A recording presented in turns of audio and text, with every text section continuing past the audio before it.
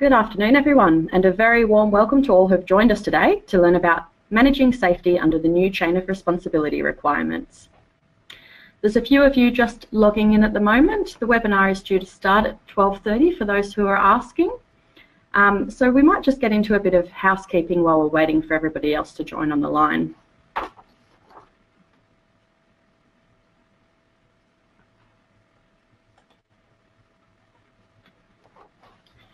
Our webinar today is presented by Julia Collins, who joined NatRoad in January 2017 as the Industry Policy Advisor.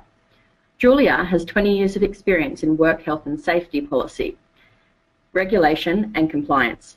She has held senior leadership positions in Safe Work Australia and played a key role in harmonisation of Australia's WHS laws, including developing numerous national codes of practice on a wide range of work and health safety issues. Sorry.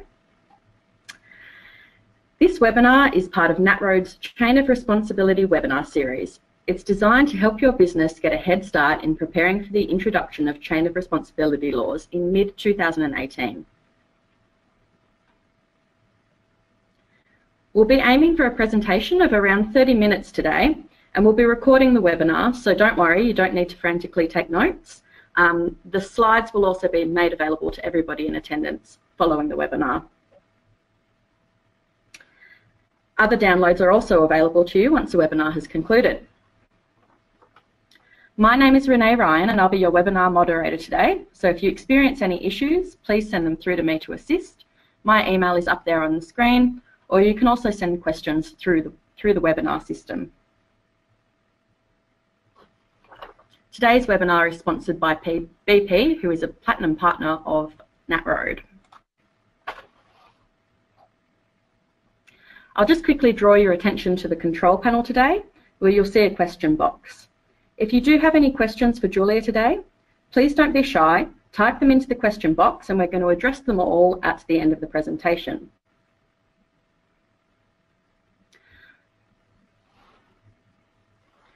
I'm just going to give it another minute or two to um, welcome some more participants on the line because we've got most people on at the moment and then I'll hand over to Julia.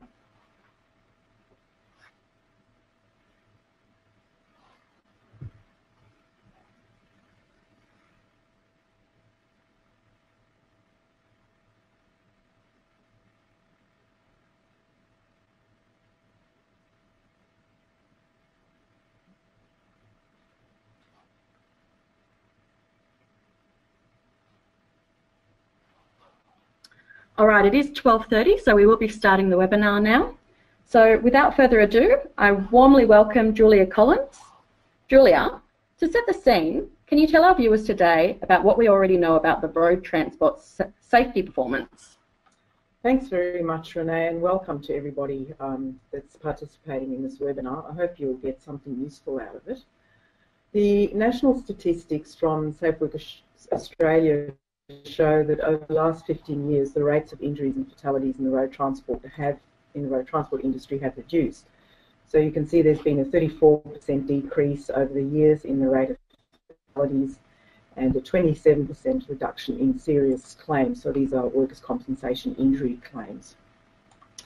However, it still remains a high-risk industry with injury and fatality rates substantially higher than the all-industry average. So Although the road transport industry accounts for 2% of the Australian workforce, it accounted for 17% of work-related fatalities and 4% of serious workers' compensation claims in 2014-15. And certainly in the most recent years, um, we've actually found that the injury and fatality rate is, is sort of flatlining and even in some cases sort of starting to go up again. So we certainly need to continue to pay attention to uh, health and safety in our industry. It's certainly no surprise that the main cause of death is vehicle collisions. So you can see 77% of fatalities have been caused by vehicle collisions, and then that's followed by being hit by moving or falling objects. About one in five fatalities occur when doing things other than driving. So this is often due to a failure to mobilise the truck or trailer during loading or unloading, or when doing maintenance work. The main causes of injury not resulting in death, so there's 43% of muscular stress, so when people are lifting, pushing, pulling things, and then that's followed by slips, trips and falls and being hit by moving objects. Julia, can you tell our viewers today what is changing under the Heavy Vehicle National Law? So the current Heavy Vehicle National Law already recognises that the responsibility for safety is shared between various parties in the supply chain and that it's not always the driver at fault. What is changing is that a number of the existing chain of responsibility provisions that are being consolidated um, into a single broad duty. So that's being called the primary duty. So what that means, for example, is that the whole chapter on speeding in the Heavy Vehicle National Law is being replaced with a primary duty, which is now risk-based, not outcome-based. So that means that it no longer requires a road offence to be committed for a party to be to be found in breach of the duty. So you could have an inspector come into your workplace and look at your systems of work, and they could very well find that if you're not complying um, in your safety management system, then you could be in breach. So it's, it's a very broad duty, very similar to the work health and safety um, general duty of care. The other thing that's changing is the burden of proof returns to the prosecution. So whereas currently the defendant must prove that they took reasonable steps, this will have more of an impact on how regulators investigate potential offence, offences. So um, the Heavy Vehicle National Law now includes um, increased powers for uh, inspectors to collect information and request documents to, to assist them in investigating chain of responsibility offences. There's also uh, penalties for failure to comply with a primary duty. They will um, be much more, much higher than what they currently are. So up to $3 million for the most serious offences involving recklessness. Currently, the maximum penalty is um, $10,000 in the Heavy Vehicle National Law. So that's a significant increase.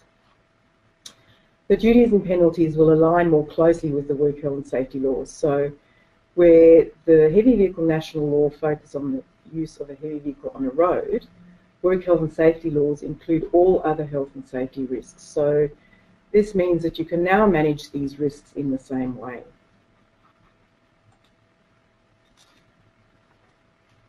So as a starting point, we need to understand what the new duty in the Heavy Vehicle National Law requires. So it states that each party in the chain of responsibility for a heavy vehicle must ensure, so far as reasonably practicable, the safety of the party's transport activities relating to the vehicle, including by eliminating public risks and to the extent it's not reasonably practicable to do so, minimise the public risks, and ensuring the party does not directly or indirectly cause or encourage the driver of the heavy vehicle or another person to contravene the heavy vehicle national law or the driver to exceed a speed limit. So this means that each party in the chain must proactively identify hazards related to the transport activity and remove or reduce the risks as much as possible, instead of only taking action when something goes wrong. It means that there will now be more focus on the systems you have in place to manage risk. There's also a separate provision which says that a person, so any person, must not in any way require a driver or a party in the chain of responsibility to do or not do something the person knows or should know would cause the driver to exceed a speed limit or breach fatigue rules. So this primary duty includes four key concepts which are highlighted in the slide and they are separately defined in the Heavy Vehicle National Law it's, and it's important to understand what their definition is. So they are the party in the chain of responsibility, so these are the duty holders, reasonably practicable, which is the standard of care, the transport activities, so these are all the activities relating to operating a heavy vehicle, and public risk. So public risk means the risk of harm to people as well as damage to infrastructure. So who are the parties in the chain? The parties who the duty applies to are those on the slide, and they're the same people who currently have chain of responsibility um, duty. So the definition of a party in the chain actually hasn't changed. So a person may be a party in the chain in more than one way. So for example, um, they may have duties as an, as an employer of a driver, they may be the operator of a vehicle, and they may also be the scheduler. More than one person can also have a duty for the same activity. So, for example, loading a truck, you could have various parties being responsible for that. The extent of each party's duty depends on what they actually do. So rather than their job title or functions described in a contract, the nature of the risk created by the transport activity, and also the party's capacity to eliminate or reduce that risk. So what is meant by transport activities? So each party must ensure the safety of their transport activities. And the definition of transport activity is broad, so it includes business practices and making decisions associated with the use of a heavy vehicle on a road. So again, this comes back to looking more broadly at the systems you have in place. And it'll include activities such as contracting or employing a person to drive a vehicle, maintaining or repairing a vehicle, consigning goods for transport, managing the loading of goods, and even things such as securing the vehicle. And given that that's quite a topical issue uh, with the recent incident we had in Singleton last week. So what does reasonably practicable mean? The reasonably practicable standard of care has been used in work health and safety laws for a long time and has been consistently interpreted by the courts in work health and safety prosecutions. It recognises that the wide range of situations that exist in workplaces and that sometimes it's not possible to eliminate all risk. So when deciding whether you've done everything reasonably practicable, a court will consider and weigh up various factors. So these are the likelihood of the risk occurring and the degree of harm it may cause, and they will balance this with what the person knows or should have known about the risk, ways to remove or reduce the risk and whether they are feasible, and the cost and whether it's proportional to the risk. So in relation to cost, if, if you have a, a, very minor risk, um, you won't be expected to spend a huge amount of money, time and effort um, to actually control that risk. But it doesn't mean that you, you, you shouldn't be doing anything. It might mean that your control measure might be a less expensive control measure. So the more likely the risk or damage and the greater the harm that may result, the more you will be expected to do. Under the Heavy Vehicle National Law and the Work Health and Safety Laws, codes of practice can be used by a court as evidence of what is known about a hazard or risk and how to control it. So it's very important that you are aware of what is in code of practice and there are currently being um, a number of codes uh, being developed under the Heavy Vehicle National Law which will assist um, in compliance. Courts will look at other relevant matters. So, for example, whether there's le other legislation that requires or prohibits certain activities and therefore limits what you can do. So obviously there are Australian road rules which you need to comply with, there are environmental laws and other laws. So these will also impact on um, what is reasonably practicable in those circumstances. And then the extent of your capacity to control or influence a safety outcome. So if we look at an example of a loading manager, um, they may not be able to directly control the maintenance of the vehicles that come into their distribution centre, but they can influence the use of defective or unsafe vehicles on the road. So if they see a potentially dangerous condition on a vehicle, they should report the issue to the responsible transport operator. So in this case, their role is one of observe, report and record. The more control or influence you have over the transport activity, the more you will be expected to do to ensure safety. Julia, can you give our viewers today an example of how the chain of responsibility duties work in practice?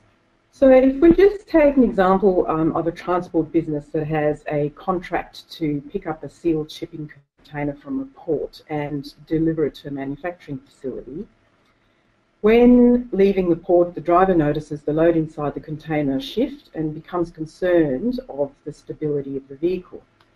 So what are the chain of responsibility roles in relation to loads?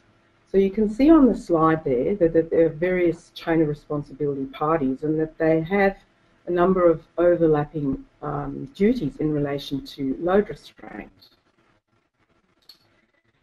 So packers, for example, and in this case the packer would be the overseas supplier, has to ensure that goods are properly secured. The loaders, which in this case are the stevedores, have a duty. Loading managers, which would be the port, would have a duty. Consigners, in this case it's a manufacturing facility importing the goods, who's the consigner, has a duty, and the transport operator as well. So um, the transport operator must ensure that the loads on their trucks can be transported safely. So load restraint is obviously one of the things that they must consider. The party with the most control in how the load is secured, in this example inside the container, is the packer, but they're a supplier overseas. The loaders putting the container in the truck also have a key role, but the containers to remain sealed until it gets to the manufacturing facility and the consigner is responsible for goods in the container. So what's reasonably practicable for each of those parties to do? So each of these people can influence or control proper load restraint in some way. The driver reports the issue to the transport business before continuing the journey. The transport business discusses the issue with the consigner, who then allows the container to be opened to find that a large item of freight was poorly restrained and had moved. The consigner instructs their supplier overseas on what is required under the Australian Load Restraint Guide and asks for evidence of compliance prior to shipment. So, for example, they could request that an engineer check the load restraint and also that photographs of are provided.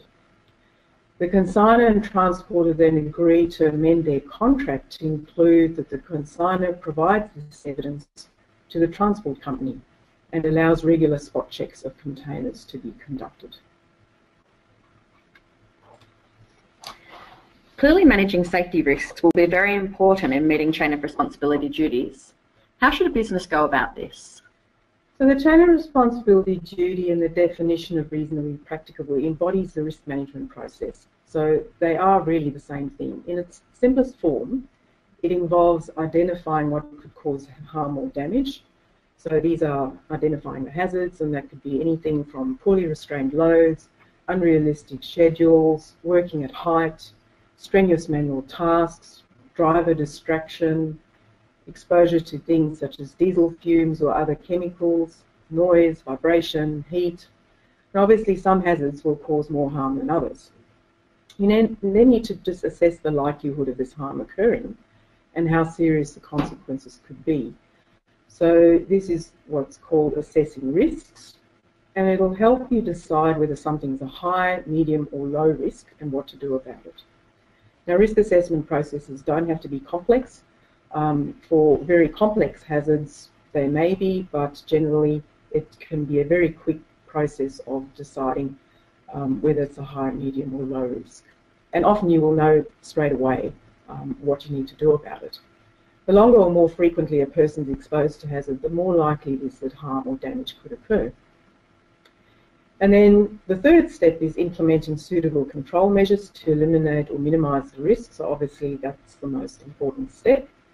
And then you need to review whether your control measures work. So risk management is not something you do once and forget. It's a continuous process because hazards and risks can change frequently, and this is particularly the case in the transport industry, and there may also be new, more effective ways of controlling risks. So there are various ways to um, identify hazards and assess risks. The most important one is to talk to those people who do the job and involve them in finding ways to make their job safer. There's been lots of research that shows that businesses in, who involve workers in their health and safety systems um, and in identifying hazards and assessing risks will have much better um, safety outcomes.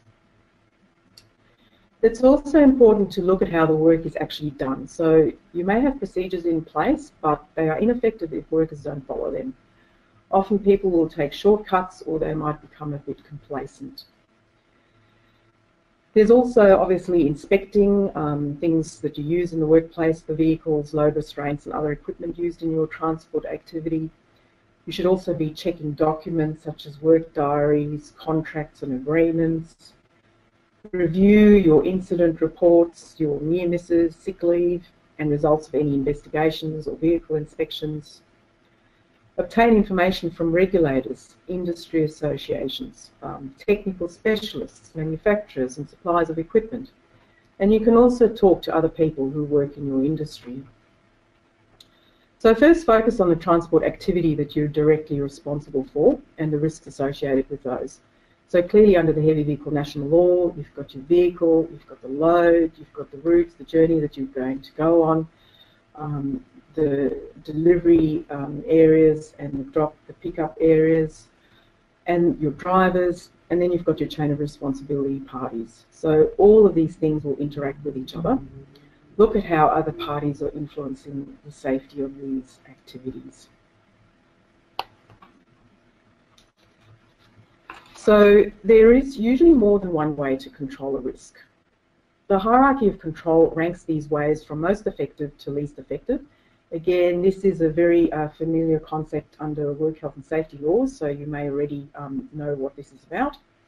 You always need to choose the most effective control measure or set of control measures that is reasonably practicable in your circumstances. So in situations where the laws don't prescribe exactly what you need to do, you do have flexibility in looking at ways to control the risk, but you always need to start at the top. So, because if it's reasonably practicable for you to completely elim eliminate or remove a hazard, then you will be expected to do so. So, for example, there are various ways, excuse me, to control the risk of falls when working at height, such as guardrails, temporary work platforms, fall arrest systems, but the best way to do the work is from the ground. So, for example, using tarp spreaders for tarping loads to avoid climbing onto a vehicle. But in some cases, it may not be possible to eliminate a hazard if it means you can't actually reduce, um, if you can't actually do the job. So then there are various ways you can reduce exposure to the hazard, and you can see those on the slide there with some, some examples. So you would then look at substituting with something safer, isolating the hazard from people, so in cases of um, separating pedestrians from moving vehicles using physical barriers, using engineering controls, so these would be things like speed limiters, um, onboard mass monitoring devices, um, and uh, trolleys and mechanical devices to move loads. Then you have administrative measures, so things like work diaries, written procedures, um, training, uh, warning signs, and then also finally personal protective equipment, so things such as high visibility um, vests and, and, hard hats. Admin controls and PPE, so personal protective equipment, relies on human behaviour and supervision to be effective. So, so that's why these are the, you know, at the bottom of the, the hierarchy. Um, because they really are ineffective if you if you don't make sure that people are doing things properly. Often um, you will use a combination of controls. So in case of um, uh, an area where you have traffic management issues, you will perhaps be ensuring that people wear high visibility vests, but you will also um, look at in, um, putting traffic barriers um, in place, so um, isolating the hazard and, as, as, and using perhaps warning signs and written procedures. So the more likely the risk or damage and the greater the harm that may result, the higher the level of control required. Of course, as I said, the Heavy Vehicle National Law has specific rules for vehicle mass, dimension, load restraint and fatigue, and those must be complied with as a minimum. So Julia, apart from managing safety risks, what else will chain of responsibility duty actually require? So you will be unable to meet the primary chain of responsibility duty without working with the other parties in your supply chain. Consulting, cooperating and coordinating activities with others who are involved will make the control of risks more likely and help each party comply with their duty. In fact, this is a mandatory requirement under work health and safety laws when people share responsibility for the same task or the same workplace. It's essential that you have a shared understanding of what the risks of the transport activity are and what each party in the chain of responsibility will do to control the risks. So the slide that you see there lists some of the issues that you should be discussing. If you recall the earlier example about the unsealed shipping container with the fully secured load, the transport business consults the consignor who then cooperates with the transport business to follow to, to allow that the container be opened. The consigner, the packer and the transport operator work together on ensuring the loads are properly restrained. including the consigner and transporter agreeing to amend their contract. So that's an example how, of how the parties are consulting with each other, cooperating and coordinating activities. When entering into contracts, you should review the job, discuss any safety issues that may arise, and how they will be dealt with. Inform the other parties of your safety requirements and policies. Never assume that someone else in the chain of responsibility is taking care of the safety issue. Check and confirm what others are doing and ensure any contracts clearly specify who's responsible for what. Remember also that you remain responsible for the aspects of the job you influence and control. You cannot avoid your responsibilities by outsourcing them or asking someone else to ensure safety on your behalf.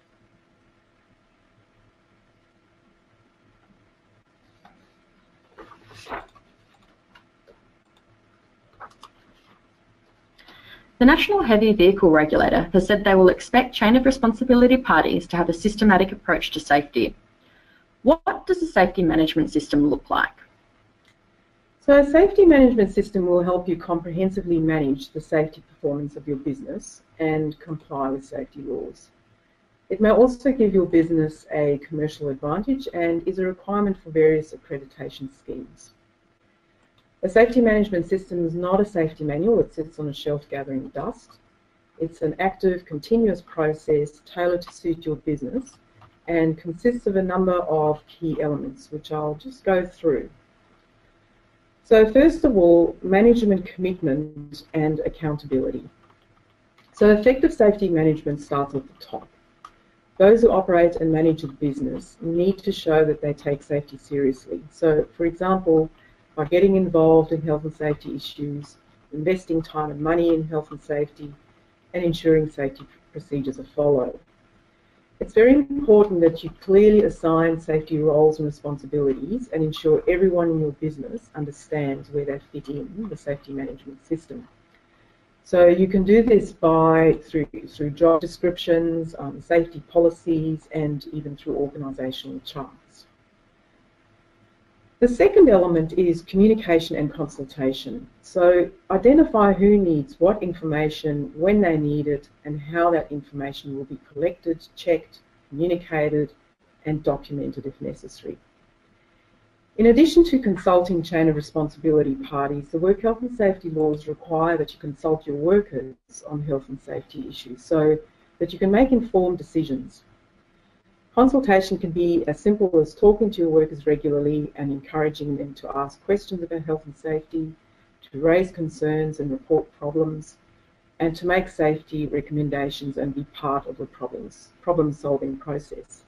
It's very important that people, that you have a very good reporting culture, a sort of a no blame culture in your business, so that workers feel free to raise um, any health and safety concerns. The third element is risk management. So this is the process that I outlined earlier in the slide, and that really is the driving force behind the safety management system. And again, involve your workers in this process to achieve the best outcome. The fourth element is competency and training. So check the competency of your workers and contractors, including licenses that are required, Use the risk management process to identify any gaps in competency and provide training to ensure workers can undertake their job safely. Managers or supervisors can provide on-the-job training in such things as um, induction of new employees, specific hazards associated with the job, so for example in relation to fatigue management, safe work procedures such as load restraint, and emergency procedures. Then we come to procurement and contract management. It's very important that you include safety specifications when purchasing new vehicles and equipment.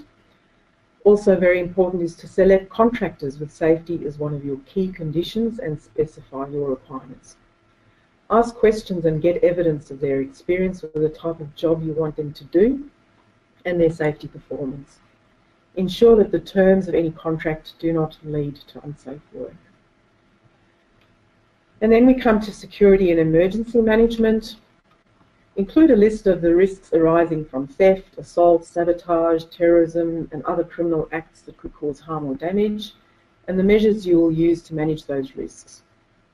Work with other parties in the supply chain to prevent and respond to security incidents. Again, this was quite topical last week with the truck being stolen. The Australian government has actually developed quite a useful little short security checklist which is available on the National Security website. Consider the type of emergencies your business could be exposed to. So, for example, fire, explosion, chemical spills, vehicle accidents, and medical emergencies. Develop procedures on how to respond quickly and safely when a critical incident occurs. And um, NatRoad is actually in the process of developing some sort of a template procedure that you could use in your business. Test these procedures at regular intervals to ensure they can be properly implemented if an actual emergency arises and investigate the causes of incidents to prevent recurrence and ensure any notifiable incidents are reported to the relevant authorities. So some types of um, health and safety incidents must be reported to work health and safety regulators. There are also specific record keeping requirements under the Heavy Vehicle National Law. So, for example, work diaries and permits other records of your safety management system should be kept to help you review your safety performance and to demonstrate compliance with safety laws. So, for example, things such as training records and uh, risk registers. Make sure that everyone in your business is aware of your record keeping requirements and also that they know um, which records are accessible and where they are kept. And then finally, regularly review how effective your safety management system is in eliminating or reducing the risks and achieving compliance. Ask your workers on whether and how it could be improved. Now, this may seem like a, a lot of um, a lot of work, and um, the thing is, you may already be, be doing a lot of these things anyway. We've developed a, a checklist to look at um, how your safety management system, how well it's working, and you can download this as part of our uh, presentation.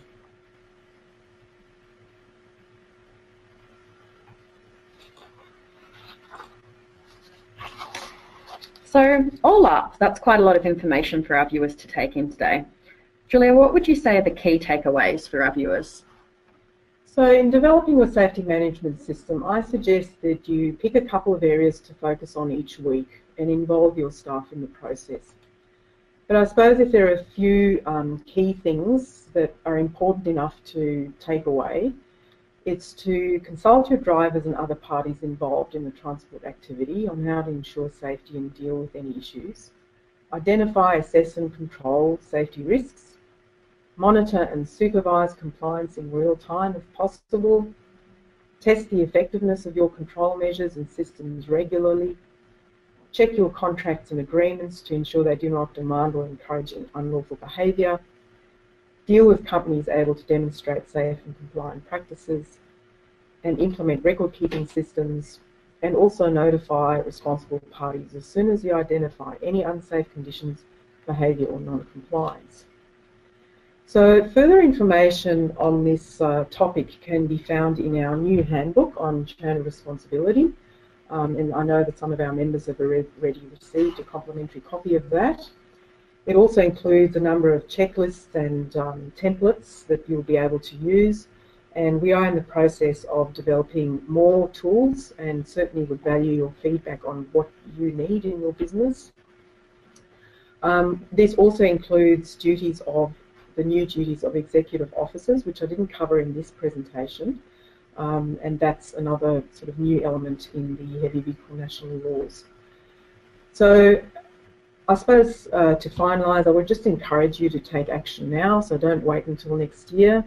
October is actually National Work Health and Safety Month, so it's a great opportunity for you to focus on health and safety in your business. So I'm happy to take any questions if we've got any, Renee. Yeah, um, we don't have any new questions, but um, if you have any questions for Julia today, please send them in now. Um, we are going to stay on the line for a little bit, um, so we'd be happy to take anything.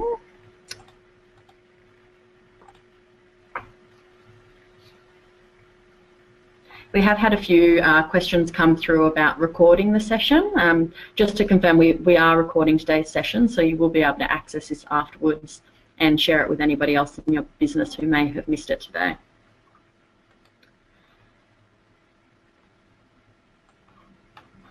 Just a reminder, if you do want to make a question, there's a question box just in the control panel of your webinar to the right. Um, while we wait for any questions today, we'll just do a quick review. So as I mentioned, today's webinar will be recorded, so you can review that. Um, you can also download the handouts. So there's a number of handouts that have been um, uploaded into the webinar today, um, including the presentation notes, um, and you should have received your copy of the, the, handbook as well. If you haven't received a copy mailed to you by the end of this week, please um, give us a call or send us an email, um, and we'd love to hear from you and make sure that we can fix that up for you. Uh, we do have a question here. Sorry, I think it's still coming from Michael Kennedy.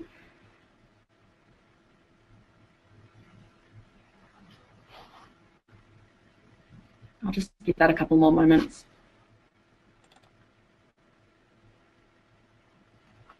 So just while we're waiting for that, um, we do have some upcoming webinars planned. So we are looking to do a webinar on duties of executive officers in chain of responsibility. Uh, we're also looking to do a webinar on managing contractors because that's a topic that is quite often raised by our members. And we're definitely interested in hearing from you guys. Um, if you've got any ideas, anything that you want us to give you more information on, um, we'd like to start implementing more webinars. So please email them through to info at natroad.com.au. All right, so I do have a question here from Michael Kennedy.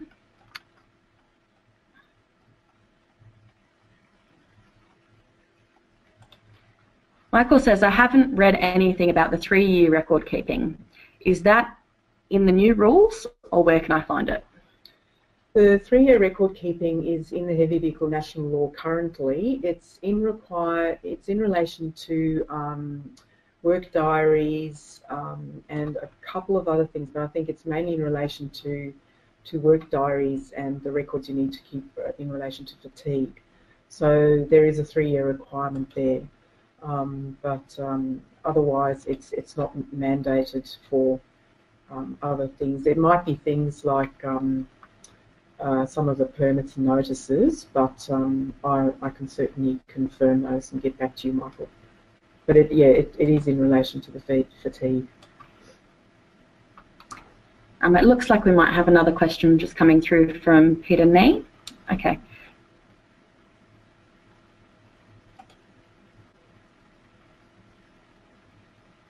We had trouble hearing the types of record keeping. Could you please repeat those items, Julia? Oh, okay. So there are record keeping requirements in relation to the fatigue monitoring, so things like work diaries. Um, but there might also be other. I'm actually putting together a list of record keeping requirements at the moment out of the heavy vehicle national law. Um, there are also things in relation to if you get exemptions uh, from certain things, um, permits that you need to keep records of those. So, so I will uh, um, give members a, a list of, of record keeping requirements under the current law. There aren't any new ones that have come through under chain of responsibility, but um, there will be an expectation that uh, you will keep records of how you know you manage your safety systems. So, so, uh, so when people come in and investigate, they will um, make sure that, or you'll be able to have evidence um, that you have complied. Thanks, Julia. Um, we do have another question here. Um, as far as containers off the wharfs are concerned, I note that as as TPT operators are still in the risk loop, is there is there reasonable steps defence that the container was sealed, etc., which would exclude us? So as I said, the container being sealed doesn't necessarily mean that you're completely off the hook. So they would be looking at, you know, what was it that could be reasonably practical for you to do. So um, that, you know, you could, would then go to the person who's responsible for the goods in that container and say, well, are you aware of your duties under the um, chain of responsibility in relation to load restraint? Um, you know, we have responsibility as well. We need to be able to confirm that um, the you know what's inside the container is properly secured. How can we work together to ensure that um, that actually happens? So Uh, and again, you know, if, if the supply is overseas, it, it doesn't mean that you can say, well, you know, there's nothing I can do.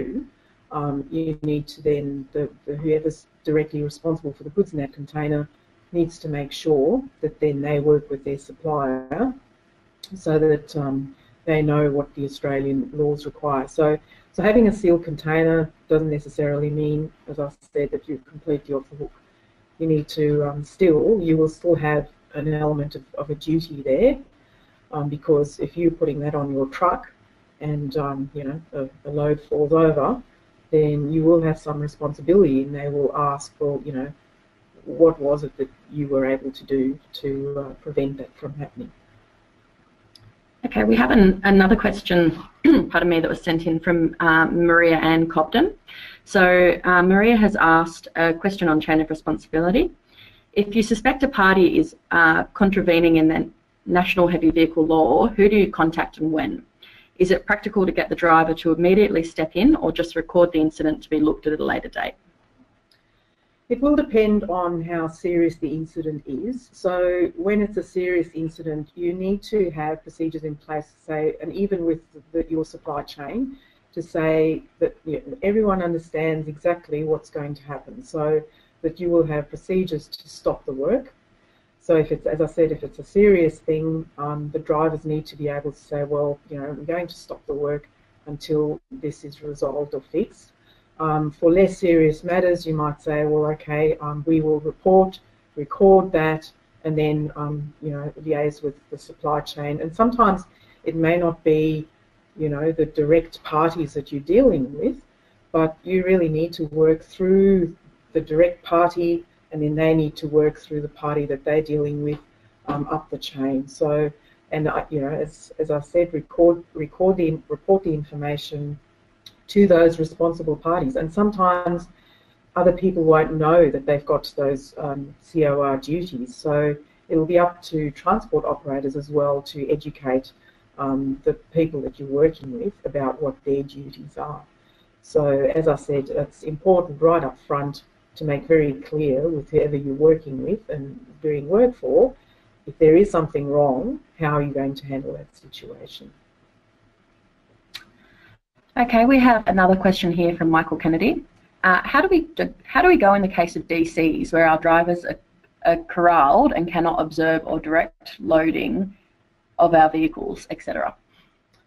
So, Michael, you might, uh, I'm assuming you're talking about distribution centres where your drivers, and again, this, this comes back to what's reasonably practical. I mean, if your drivers clearly cannot, are not there to see what's going on, then it's not reasonably practicable for you to do um, anything about that. So, but if there is a way for you to um, make sure up front um, with the parties that you work for um, what their procedures are, what your your expectations are as well, then you'll be in a much better position um, to actually also enable your drivers to um, you know intercept when they see something that's that's not right. Um, and another one from Michael: Is it our legal responsibility to go back through the chain when it is their responsibility? It, it, again, it's it's what's reasonably practicable, but you might only be able to deal with the person that you you know that you're dealing with more directly they will have responsibility then to deal with their supply, with their um, person in the supply chain. So again, it's what is practicable for you to do. Um, you're not expected to take on their duties. Um, they need to know, um, and ignorance is obviously no excuse, but um, they need to know what their duties are. Um, so um, it's again, it's incumbent on on you to deal with those people that you're dealing with directly, and then making sure that again that they know the other people in the supply chain, consulting, cooperating, and coordinating activities with them. Okay, uh, we've got another question here from Jeff Bunn. Uh, Jeff says, our systems are well placed, but my question refers to the public who take small loads from landscape yards. How will mass and load restraints be applied to these circumstances, e.g. trailers, small trucks, etc.? And how will the responsibilities in the chain of responsibility function or be applied? So um, those people are not subject to the heavy vehicle national law. Um, there are similar requirements for load restraint. I think they're under the Australian road rules um, for light vehicles or things like utes. And, and, so members of the public still have an obligation um, to ensure that they're, you know, if they're picking up stuff from a, a yard, um, that it's not going to fall off the vehicle. But it, it doesn't come under the heavy vehicle national law and it doesn't come under chain of responsibility. In WA, it's actually slightly different. Um, WA extends their COR laws um, to to light vehicles as well. So there is a difference um, in the in the laws in WA. Okay, I think we've got uh, time for one last question today. So um, another one from Michael Kennedy. Um, if you either stopped work or recorded and informed the consigner about breaches and they suddenly stopped using you, would you have grounds for action against them for damages? Michael, I'm not sure about that one. I'll have to go to our legal person that we've got at NatRoad and actually ask them about that. Um, yes, so I, I wouldn't be able to with certainty answer that question, but it's a good question. All right, well, I think that probably brings us to the end of today's webinar. Um, if you do have any more questions, uh, Julia Collins is available for complimentary information on chain of, chain of responsibility sorry, over the phone uh, for NatRoad members. Um, and if you're not a member and you're joining us today, um, you're able to access all this information and more free of charge. Um, give us a call on the number on the screen and we'll be able to help you out with that. Um, and before everybody takes off today as well, um, we'd love to know what you thought of today's webinar. It is the first in a series that we're hoping to start. So any feedback, uh, we'd very much appreciate it, and there will be a survey when you um, when you exit out of today's webinar. So thank you again, and do reach out if you need anything more for, from us.